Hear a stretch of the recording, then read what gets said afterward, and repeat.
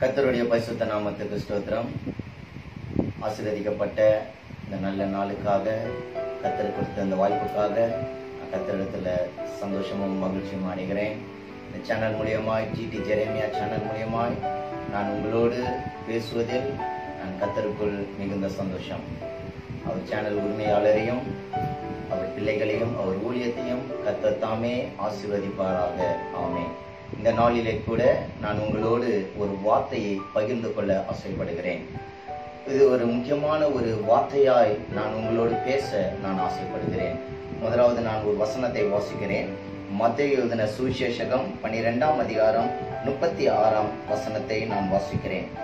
மனுஷன் பேசும் வீணான வார்த்தைகள் யாவையும் குறித்து நியாய தீர்ப்பு நாளிலே கணக்கு ஒப்புவிக்க வேண்டும் என்று உங்களுக்கு சொல்லுகிறேன்.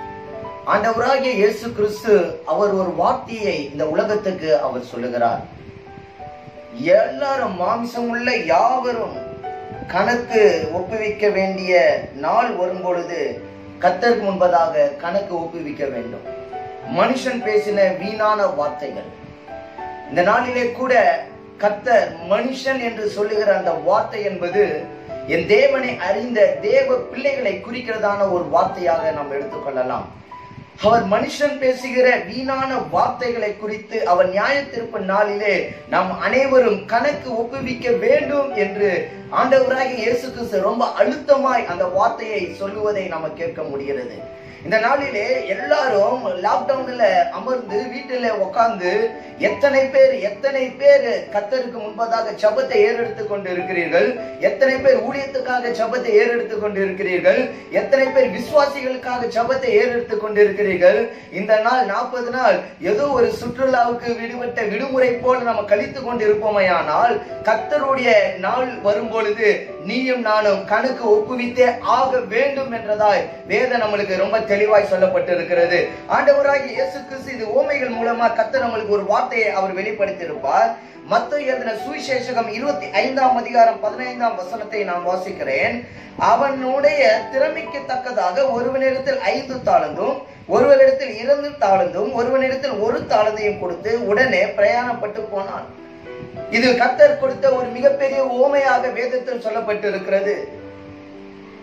ஒருவர் வருகிறார் மூன்று பேரை கூப்பிட்டு ஒருவனுக்கு ஐந்து தாளந்தையும் ஒருவனுக்கு இரண்டு தாளந்தையும் மற்றொருவனுக்கு ஒரு தாளந்தையும் கொடுத்து தூர தேசத்துக்கு அவர் பிரயாணப்பட்டு போகிறார் என்றதான வேதம் சொல்லப்பட்டிருக்கிறது. தூர தேசத்துக்கு பிரயாணப்பட்டு போனவர் என் ஆண்டவராகிய இயேசு கிறிஸ்து அவர் ஒவ்வொருவருக்கும் ஒவ்வொரு தாளந்தை அவர் கொடுத்து கொண்டு போயிருக்கிறார். அவர் கொடுத்து கொண்டு போன அந்த தாளந்தை அந்த அபிஷேகத்தை அந்த ஆசீர்வாதத்தை நீங்கள் காத்து கொண்டு அநேக பேருக்கு நீங்கள் பிரயோஜனப்படும் பொழுது கத்தருடைய அந்த பரலோக நாளில் வரும் பொழுது கத்தர் சந்தோஷப்படுவார் என்று வேதம் சொல்லப்பட்டிருக்கிறது. ஐந்து தாளந்தை கொடுத்தவன் மீதி ஐந்து தாளந்தை கொடுக்கிறான். அப்படி கொடுக்கும் பொழுது வேதம் சொல்லப்பட்டிருக்கிறது வா என் அன்பான குமாரனே என்னுள் நீ சந்தோஷப்படு என்று அவனை அழைக்கிறதை வேதம் சொல்லப்பட்டிருக்கிறது. உண்மை உள்ளவன் என்று சொல்லப்பட்டிருக்கிறது. இரண்டு தாளந்தை உடையவன் வந்து கத்தரிடத்துல ஒப்பு கொடுக்கும் பொழுது அவன் சொல்ற கொஞ்சத்தில் நீ உண்மையா இருந்தாய். அநேகருக்கு உன்னை ஆசீர்வாதமாக மாற்றுவேன் என்று வேதம் சொல்லப்பட்டிருக்கிறது. ஒரு தாளந்தை கொடுத்தவன் சொல்லுகிறான் நான் புதைத்து வைத்து விட்டேன் என்று சொல்லி அவன் எஜமான இடத்துல அவன் பேச முயற்சி செய்கிறான். அவன் பேசுகிறான் என்று வேதம் சொல்லப்பட்டிருக்கிறது. காரணம் என்ன? அவன் கிட்ட எந்த ஒரு ஆசீர்வாதமும் எந்தவித கணக்கும் அவன் இடத்தில் இல்லை. அவன் மாறாக எஜமான இடத்தில் பேச அவன் ஆரம்பிக்கிறான் என்று வேதம் சொல்லப்பட்டிருக்கிறது. அருமையான தேவ பிள்ளைகளே இந்த நாளிலே கத்த நம்மளுக்கு கொடுக்கப்பட்ட ஒவ்வொரு நாளுக்காக ஒவ்வொரு நிமிடத்துக்காக வீணாய் பேசுகிற ஒவ்வொரு வார்த்தைகளுக்காக வீணாய் கழிக்கிற ஒவ்வொரு நாளுக்காக நியாய தீர்ப்பு நாள் வரும் பொழுது கத்தருக்கு முன்பதாக கணக்கு ஒப்புவிக்க வேண்டும் என்ற ஒரு பயம் கிறிஸ்தவர்களுக்கு அதிகமாய் இருக்க வேண்டும். விசுவாசிகளுக்கு அதிகமாய் இருக்க வேண்டும்.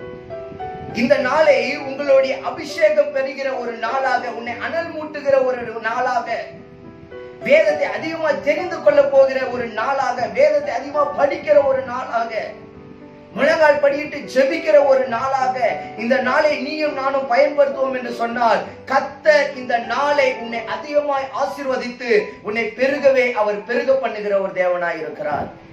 கத்தர் கொடுத்த இந்த நாளை நீங்க அசட்டை பண்ணுவீர்கள் என்று சொன்னால் கத்தர் கொடுத்த இந்த நேரத்தை நீங்கள் பிரயோஜனம் இல்லாமல் பயன்படுத்துவீர்கள் என்று சொன்னால் இதற்குரிய நியாய திருப்ப நாளிலே கத்தர் கட்டாயம் உனக்கும் எனக்கும் கையில கணக்கு கேட்பார்.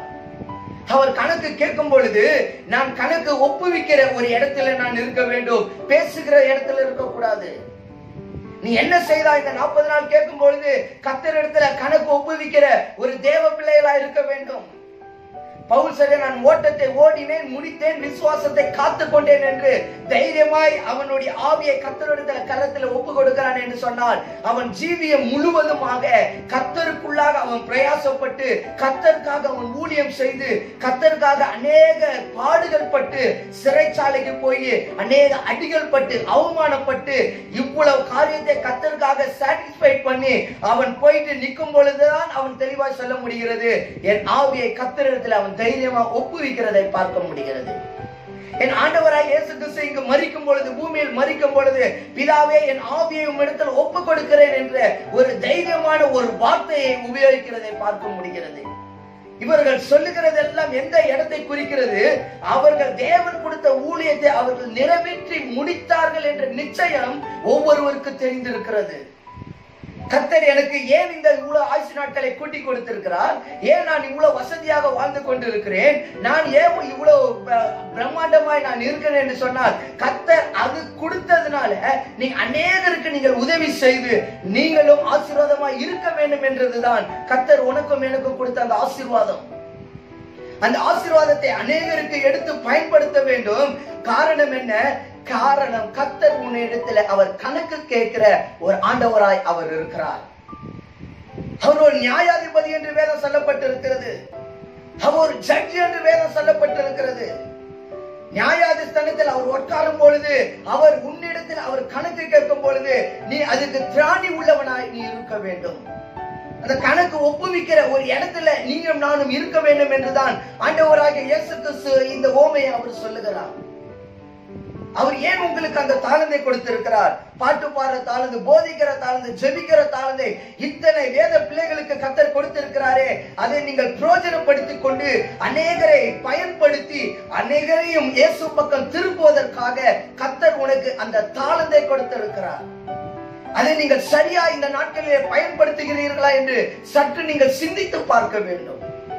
கத்தர் இவ்வளவு நாளை கொடுத்திருக்கிறாரே இத்தனை நாள் இன்னும் லாக்டவுன் நீடித்துக் கொண்டு இருக்கிறது இன்னும் இரண்டு வாரம் எக்ஸ்டெண்ட் பண்ணி கொண்டு இருக்கிறார்கள் அப்படி என்று சொன்னா இன்னும் நீ கத்தர் பாதத்தில் அமர்ந்து செபித்து அவரிடத்துல பெற்றுக்கொள்ள வேண்டிய காரியங்கள் அதிகமாக இருக்க வேண்டும். வேதம் சொல்லப்பட்டிருக்கிறது சுவிசேஷம் இருபத்தி ஐந்தாம் அதிகாரத்தில் சொல்லப்பட்டிருக்கிறது. அவனுடைய எஜமான் அவனை நோக்கி நல்லது உத்தமம் உண்மை உள்ள ஊழியக்காரனே கொஞ்சத்திலே உண்மையாக இருந்தாய். அநேகத்தின் மேல் உன்னை அதிகாரியாக வைப்பேன். உன் எஜமானுடைய சந்தோஷத்துக்குள் நீ பிரவேசி என்று அவன் சந்தோஷமாய் உன்னை பரலோகத்தில் ஏற்றுக்கொள்ள வேண்டும் என்று சொன்னால் காலத்தை பிரோஜனப்படுத்திக் கொள்ளுங்கள். காலத்தை பிரோஜனப்படுத்திக் கொள்ளுங்கள். மோசே சொன்ன நாட்களை என்னும் அறிவை எனக்கு கொடுங்க ஆண்டவரே என்று மோசே அழகாக சொல்லுகிறான் காரணம் என்ன? நாட்கள் கொள்ளாதது என்று மோசேவுக்கு தெரியும். நாளைக்கு என்ன நடக்க போகிறது என்று உனக்கும் எனக்கும் தெரியாத அந்த சூழ்நிலையில நாளைக்கு என்ன சம்பவிக்கும் நாளைக்கு நான் ஜீவனோடு இருப்பனா என்று தெரியாமல் வாழ்ந்து கொண்டிருக்கிற நீயும் நானும் இருக்கிற நேரத்துல கத்தருக்குள்ளாக பிரோஜனப்படுத்திக் கொள்ளுங்கள் என்று வேதம் அழகாய் ஓமைகள் மூலியமாய் கத்தர் பேசியிருக்கிறார். நீங்கள் பிரயோஜனப்படுத்திக் கொள்வீர்கள் என்று நான் விசுவாசிக்கிறேன். அப்படியா வேதம் சொல்லப்பட்டு இருக்கிறது ரோமர் புஸ்தகம் பதினாலாம் அதிகாரம் பன்னெண்டாம் வசனத்தை நான் வாசிக்கிறேன். யோவான் புஸ்தகம் பதினாலாம் அதிகாரம் பன்னெண்டாம் வசனம். ஆதலால் நம்மில் ஒருவனும் தன்னை குறித்து தேவனுக்கு கணக்கு ஒப்புவிப்பான். தன்னை குறித்து தேவனுக்கு கணக்கு ஒப்புவிப்பான் என்று சொல்லி மேல் பதினோராம் வசனம் அப்படியாய் சொல்லப்பட்டிருக்கிறது. அந்தபடியே முழங்கால் யாவும் எனக்கு முன்பாக முடங்கவும் நாவு யாவும் தேவனை அறிக்கை பண்ணவும் என்று என் ஜீவனை கொண்டு உரைக்கிறேன் என்பதாய் கத்தர் சொல்லுகிறார் என்று எழுதியிருக்கிறது. முழங்கால் யாவும் கத்தரிடத்துல முழங்கால் படுகின்ற வேண்டும் என்றதாய் வேதம் சொல்லப்பட்டிருக்கிறது. நாவுகள் யாவும் தேவனை அறிக்கை பண்ண வேண்டும் என்று வேதம் சொல்லப்பட்டிருக்கிறது. முழங்கால்கள் அறிக்கை தேவனிடத்தில் அதிகமாய் பண்ண வேண்டும் என்று சொல்லி அதுக்கு அடுத்த வசனம் சொல்லப்பட்டது ஆதலால் நம்மில் ஒருவனுக்கும் தன்னை குறித்து தேவனுக்கு கணக்கு ஒப்புவிப்பான் தன்னை குறித்து ஆண்டவராகி இயேசு கிறிஸ்துவின் இடத்துல கணக்கு ஒப்புவிக்க வேண்டும் என்றதாய் ரோமர்ல பவுல் ரொம்ப அழகாய் சொல்லப்பட்டிருக்கிறது. தன்னை குறித்து உன்னை குறித்து நீ தேவனிடத்துல கணக்கு ஒப்புவிக்க வேண்டும். பழைய ஏற்பாட்டு காலத்திலே தேவனிடத்துல அநேக தீர்க்க தரிசிகள் இடத்துல அவர் கணக்கை அவர் வாங்கியிருக்கிறார். மோசஸ் செய்த தப்புக்கு கத்த தண்டனை கொடுத்திருக்கிறார். தாவிது செய்த தப்புக்கு கத்த தண்டனை கொடுத்திருக்கிறார். எசைக்கல் ராஜா செய்த தப்புக்கு கத்த தண்டனையை கொடுத்திருக்கிறார். அப்படி என்று சொன்னால் கத்தர் அந்த நாட்களிலே கணக்கை அவர் வாங்கி இருக்கிறார் கத்தர் உனக்கும் எனக்கும் நாட்களை கொடுத்து கொண்டிருப்பது காரணம் என்ன? நம்மளுக்கு ஜீவன் நாட்களை இன்னும் அதிகரித்துக் கொண்டு போவதற்கு காரணம் என்ன? இந்த உலகத்துல எத்தனோ பேர் மறித்து விடுகிறார்கள். சிறு வயதிலே நடு வயதிலே முதிர் வயதிலே எல்லாரும் எந்த வயதில மரணம் தெரியாமல் மறித்து இருக்கிறார்கள் ஆனா உனக்கு எனக்கு கத்தர் இன்றைக்கு வரைக்கும் ஜீவ நாட்களை கூட்டி கொடுத்திருக்கிறாரு. காரணம் என்ன? கத்தர் உன்னை குறித்து அநேக பெரிய காரியங்களை ஆசீர்வாதமான காரியங்களை செய்ய போகிறார் என்று அர்த்தம். அப்ப கத்தர் அந்த நாளை உனக்கு கொடுக்கும் பொழுது அந்த நாளை நீங்க எந்த அளவுக்கு பிரயோஜனப்படுத்தி கொள்ளுகிறீர்கள் என்று நீங்கள் நினைவு கொண்டு இருங்கள் திரும்ப அந்த நாள் உங்களுக்கு வராது. திரும்ப இது போல ஒரு நாற்பது நாள் ஐம்பது நாள் உள்ள லாக்டவுன் திரும்ப நம்மளுக்கு வரப்போவது கிடையாது. வந்த நேரத்திலே நீங்கள் பிரோஜனப்படுத்திக் கொள்ள வேண்டும். விசுவாசியே சபையாரே இதை கேட்டு கொண்டு இருக்கிற தேவ பிள்ளைகளே எல்லாருக்கும் இதை சொல்லுகிறேன். போதகர்களுக்கும் சொல்லுகிறேன். நீங்கள் நாட்களை பிரோஜனப்படுத்திக் கொள்ளுங்கள்.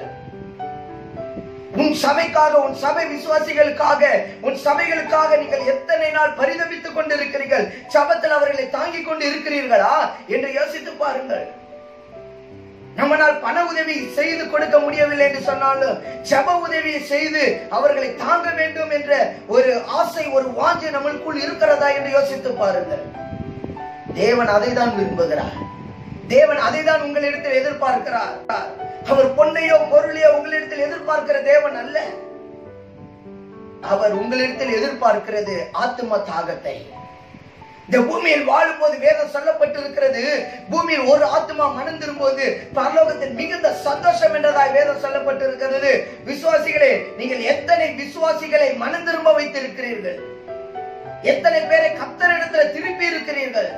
எத்தனை பேர் அவர்களை வழிநடத்தி இருக்கிறீர்கள்? யோசித்து பாருங்கள். ஊழியத்துல எத்தனை பேர் அநேக நேரத்தை செலவழித்துக் கொண்டிருக்கிறீர்கள்? டிவி சேனலில் இன்னைக்கும் நீங்கள் மூழ்கி இருப்பீர்களானால் கத்தருடைய நியாய தீர்ப்பில் நீங்கள் கணக்கு ஒப்புவித்தே ஆக வேண்டும் என்று வேதம் திட்டமும் தெளிவுமாய் நம்மளுக்கு போதித்துக் கொண்டிருக்கிறது. அதுதான் வேதம் சொல்லப்பட்டிருக்கிறது. ஒன்றாம் பேதுரு நாலாம் அதிகாரம் பதினைந்தாம் வசனத்தை நான் வாசிக்கிறேன். ஒன்றாம் பேதுரு நாலாம் அதிகாரம் பதினைந்தாம் வசனம். அப்படியே வேதம் சொல்லு ஆதலால் உங்களில் ஒருவனும் கொலை பாதகனாவது திருடனாவது பொல்லாங்கு செய்தவனாவது அந்நிய காரியங்களில் தலையிடுவனாவது பாடுகளிலே அப்படி மேல் வசனம் சொல்லப்பட்டிருக்கிறது. கத்தருக்கு ஸ்தோத்திரம். ரெண்டாம் ஒன்றாம் பேதுரு நாலாம் அதிகாரம் ஐந்தாம் வசனம். சாரி ஒன்றாம் பேதுரு நாலாம் அதிகாரம் ஐந்தாம் வசனம் சொல்லப்பட்டிருக்கிறது. உயிரோடு இருக்கிறவர்களுக்கும் மறித்தவர்களுக்கும் நியாய தீர்ப்பு கொடுக்கிற ஆயத்தமாய் இருக்கிறவர்களுக்கு அவர்கள் கணக்கு ஒப்புவிப்பார்கள் என்று பேதர் அழகாய் சொல்லப்பட்டிருக்கிறது. உயிரோடு இருக்கிறவர்களும் மறித்தவர்களும் நியாய திருப்பு நாளிலே கணக்கு ஒப்பு ஒப்புவிப்பார்கள் என்று அழுத்தமாய் பேதர் சொல்லப்பட்டிருக்கிறது. அதுக்கு மேல் வசனம் சொல்லப்பட்டிருக்கிறது அந்த துன்மார்க்க உலகிலே அவர்களோட கூட நீங்கள் விழாமல் இருக்கிறதினாலே அவர்கள் ஆச்சரியப்பட்டு உங்களை தூஷிக்கிறார்கள். துன்மார்க்க நாளிலே நீங்கள் விழாமல் இருப்பதற்காக ஆக்கினை தீர்ப்பு அடையாமல் இருப்பதற்காக நீங்கள் காலத்தை பிரோஜனப்படுத்திக் கொள்ளுங்கள். நியாய தீர்ப்பு நாளிலே உயிரோடு இருக்கிறவர்களுக்கும் மறித்தவர்களுக்கும் கத்த நியாய தீர்ப்பார் என்று கத்தராகிய தீர்க்கதரிசி ஆகிய பேதிரு ரொம்ப தீர்க்கமாய் அவர் சொல்லி இருக்கிறதை பார்க்க முடிகிறது. அப்போஸ்தலனாகிய பேதிரு. அப்படியானால் என்ன அர்த்தம்? மறித்தோர்களும் சரி உயிரோடு இருக்கிற நாளிலே தேவனுடைய வருகை வரும் என்று சொன்னால் நம்மளும் நியாய தீர்ப்பிலே கணக்கு ஒப்புவிக்க வேண்டிய ஒரு கட்டாயத்திலே நம்மளும் தள்ளப்படுவோம். அப்படியா வேதம் சொல்லப்பட்டிருக்கிறது இன்னொரு இடத்துல எப்ரேயர் புஸ்தகம் நாலாம் அதிகாரம் பதிமூன்றாம் வசனம் சொல்லப்பட்டிருக்கிறது அவருடைய பார்வைக்கு மறைவான சிருஷ்டி ஒன்றுமில்லை சகலமும் அவருடைய கண்களுக்கு முன்பாக நிர்வாணமாயும் வெளியரங்கமாயும் இருக்கிறது அவருக்கே நாம் கணக்கு ஒப்புவிக்க வேண்டும். அவர் பார்வைக்கு மறைவாய் ஒன்றும் இல்லை என்று வேதம் சொல்லப்பட்டிருக்கிறது. அவருக்கே நாம் கணக்கு ஒப்புவிக்க வேண்டும் என்று எப்ரேயர் புஸ்தகம் அழகாய் நம்மளுக்கு சொல்லப்பட்டிருக்கிறது. அவருக்கே என்று சொன்னால் ஆண்டவராகிய இயேசு கிறிஸ்துவுக்கே. அவர்தான் நியாயஸ்தானத்தில் அமர்ந்து உன்னையும் என்னையும் நியாயம் தீர்க்க போகிறார். அந்த கணக்கை அவர்தான் கேட்க போகிறார். அதனால்தான் வேதம் எப்ரேல சொல்லப்பட்டிருக்கிறது அவருக்கே நீங்கள் கணக்கு ஒப்புவிக்க வேண்டும். ஆண்டவராகிய இயேசு கிறிஸ்துவுக்கே நீங்கள் கணக்கை ஒப்புவித்து வருகிற நாளில் இருந்து நீங்க தப்பித்துக் கொள்ள நீங்கள் காலத்தை பிரோஜனப்படுத்திக் கொள்ள என் ஆண்டவராகிய இயேசு கிறிஸ்துவுக்கு நீங்கள் கணக்கு ஒப்புவிக்க வேண்டும் என்றதாய் அழகான வேத வார்த்தை நம்மளுக்கு சொல்லப்பட்டிருக்கிறது. அருமையான தேவ பிள்ளைகளே கணக்கு ஒப்புவிக்க வேண்டும் என்பது சிறு வயது முதலே கத்த நம்மளுக்கு உலகத்துல கொடுக்கிற அந்த கணக்காய் அது இருக்கிறது. தேவனை ஏற்றுக்கொண்ட அந்த நாளில் இருந்து உங்க நாட்களை உங்க நாட்களை முடிக்க போகிற அந்த நாள் வரைக்கும் நீங்கள் சரியான ஒரு கணக்கை திட்டத்தை நீங்கள் வகுத்து கத்தருக்கு ஊழியம் செய்ய நீங்கள் ஆரம்பியுங்கள் நேரத்தை போதனப்படுத்திக் கொள்ளுங்கள். கால சமீபம் தேவ வருகை எந்த நேரத்திலும் எந்த நிமிடத்திலும் வரலாம் என்ற நாட்களிலே நாம் கடந்து வந்திருக்கிறோம். இனி காலம் செல்லாது என்ற நாட்களிலே நாம் கடந்து வந்திருக்கிறோம். உலகத்துல பார்க்கிற காரியங்கள் உலகத்துல சம்பவிக்கிற காரியங்கள் எல்லாம் வேதத்தில் எழுதப்பட்ட காரியங்களிலே நிறைவேறி கொண்டு இருப்பதை வேதத்தை வாசிக்கிறவர்கள் புரிந்து கொள்ள முடியும். வேதத்தை நீங்கள் படித்து பார்ப்பீர்களானால் இப்படிப்பட்ட காரியங்கள் கடைசி நாட்களிலே நடக்கும் என்று வேதம் சொல்லப்பட்டிருக்கிற காரியத்தில் வேதத்தின்படி என்று உலகத்தில் நடைபெற்றுக் கொண்டிருக்கிறது. ஏதோ ஒரு விசித்திரமான காரியம் உலகத்தில் நடைபெறவில்லை. வேதத்தில் எழுதப்பட்ட எழுத்தில் உறுப்பாகிலும் மாறாது என்று வேதம் சொல்லப்பட்டிருக்கிறது. அப்படியானால் வேதத்தில் சொல்லப்பட்ட அந்த தீர்க்கதரிசனம் உள்ள வார்த்தைகள் வெளிப்பாடு தானியல்ல சொல்லப்பட்டிருக்கிற வார்த்தைகள் இன்றைக்கு நிறைவேறி கொண்டிருக்கிறது. மத்திய எழுதின புஸ்தகம் இருபத்தி நாலாம் அதிகாரத்தில் சொல்லப்பட்டிருக்கிற வார்த்தைகள் இன்று நிறைவேறி கொண்டிருக்கிறது. இன்றைக்கு நீங்கள் விழித்தீராவிட்டால் இன்றைக்கும் நீங்கள் விழித்திராமல் தூக்கத்துக்கு நேரத்தை செலவழித்து களியாட்டங்களிலே டிவி சேனல்ல உங்க நேரத்தை செலவழிப்பீர்களானால் தேவனுடைய வருகையிலே நியாய தீர்ப்பிலே நீயும் நானும் கணக்கு ஒப்புவித்தே ஆக வேண்டும் என்றதாய் வேதத்துல ரொம்ப தெளிவாய் சொல்லப்பட்டிருக்கிறது. அதிலிருந்து நீங்கள் தப்பித்துக் கொள்ள வேண்டும் என்று சொன்னால் காலத்தை பிரயோஜனப்படுத்திக் கொள்ளுங்கள். காலம் உங்களுக்கு திரும்ப வராது. நேரம் திரும்ப வராது. அதை கத்தருக்கு முன்பதாக முழங்கால் படியிட்டு கத்தர் கொடுக்கிற ஆசீர்வாதத்தை தேவ பரத்திலிருந்து நம்ம பெற்றுக்கொள்கிற ஒரு பிள்ளைகளாக இருக்க வேண்டும். மனிதனிடத்துல கையேந்திர பிள்ளைகளாக இருக்கக்கூடாது. என் தேவன் எலியாவை கொண்டு போஷித்தார் என்று சொன்னால் நீங்க தேவ முகத்தை பார்க்கும் பொழுது கத்தர் உங்களுக்கு எந்த ஒரு மனிதர் மூலியமாவது கத்தர் உங்களை போஷிப்பார் என்ற ஒரு நிச்சயம் நம்மளுக்கு விசுவாசம் இருக்க வேண்டும். நம் மனிதரை நோக்கி பார்த்து கொண்டு இருப்போம் என்று சொன்னால் தேவனிடத்திலிருந்து ஒரு ஆசீர்வாதத்தை உன்னால் பெற்றுக்கொள்ள முடியாது. பரத்திலிருந்து நான் உன்னை ஆசீர்வதிப்பேன் என்று வேதம் சொல்லப்பட்டிருக்கிறது. விசுவாசியே பரத்தை நோக்கி பாரு தேவனை நோக்கி பாரு என் ஆண்டவரை நோக்கி பாரு.